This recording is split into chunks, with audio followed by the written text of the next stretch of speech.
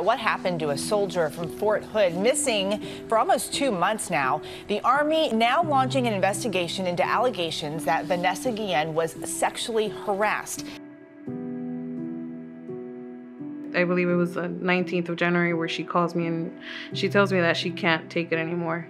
And she potentially uh, tells me she wants to commit suicide. This is something that I never really talk about, but I feel like it's it's the moment to do so because people don't understand how bad um, sexual harassment and assault in the military can take a huge toll on someone's life.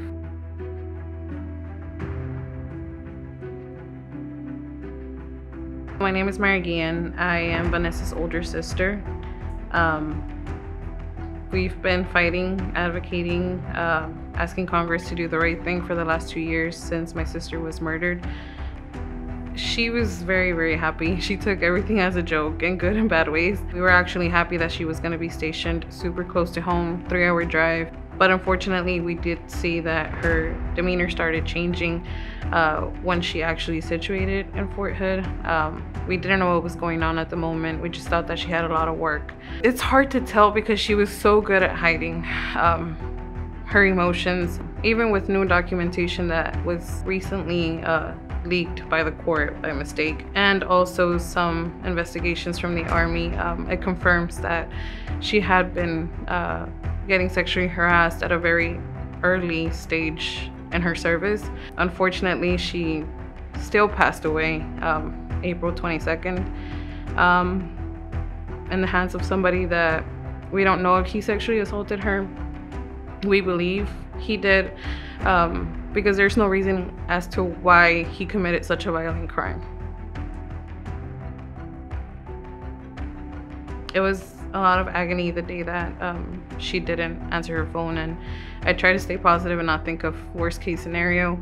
Um, somehow I got in contact with her chain of command, her staff sergeant actually. He had no idea of what was happening until probably like the third time he called me back and said, simply, oh, no one's heard of her since about noon today. That's when I decided that I had to go in person and like ask them like, where's my sister? I was meeting people left to right, uh, sergeant after sergeant, and I was so confused at the time. I'm like, what's going on?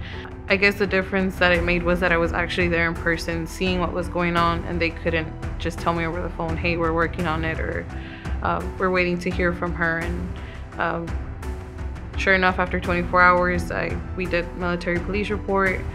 That was a joke. It wasn't until my parents uh, got there the Friday of that week and talked to CID and my mom right away felt like they just basically didn't care. We started um, protesting outside the gates of Fort Hood um, every Friday. We never failed a Friday. We started uh, raising awareness in social media, that was a big tool for us. We just never gave up. We actually moved in to Killeen area to live there for the two months that we were doing search parties on our own because we, we felt like waiting on military police or CID, they're their own jurisdiction. They would never actually tell us what was going on. Or every time there was a supposable meeting, uh, they would be like, there's no updates. So what was like the point of those meetings? Like, who do we have to go to to find answers? When people found out a little bit more about the story, I guess they felt compelled to come and help us, you know, ask, where is she? We always had a lot of faith in finding her alive, no matter the circumstance. Um, but there was also the side of reality uh, that that wasn't going to be the case, that we weren't going to find her alive. But when Gregory Morales was found, it was just like, it took everyone by like surprise. Like, you know, how much time passed from his disappearance to how they found him was because they were looking for Vanessa. Um, it just lets me know that the army never cared. They never actually put effort into looking for him or investigating. So, what were they going to do for my sister? Justice has so many different meanings for a lot of people. For some people, justice is putting the person that caused damage in jail. In our case, we've tried to keep her memory alive and her legacy growing. Uh, we were successful by doing so with uh, the bill that got passed in December uh, by both the House and the Senate. That was a, like a great achievement for us. Uh, we fought very hard because we didn't want to see any other service member go through what my sister went through. And it starts at the top. They have the power and the authority and the budget to hire people and get them to do the right thing or to change the law under you know their jurisdiction and be like hey we're going to start holding people accountable um, it's not until the aggressors see that they're being held accountable and punished is that they're going to stop doing what they're doing. For us uh, we fought very hard because we didn't want to see any other service member go through what my sister went through.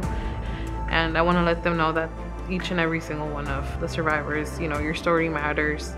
Um, you were a great part in this change um, and just to keep keep advocating if you can